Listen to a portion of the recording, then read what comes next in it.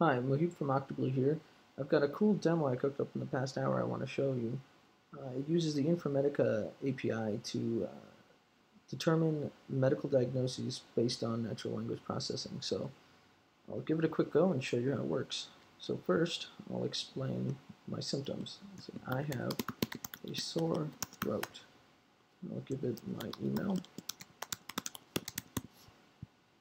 And click submit and the form service uh, sends that to a trigger in this Octoblu flow, which we'll see kick off.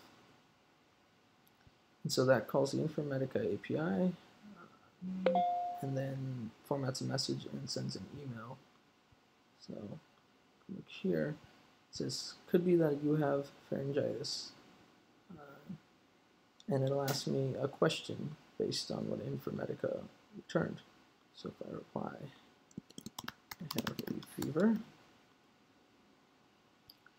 Uh, note that the email that I just sent that to is actually the email for this trigger.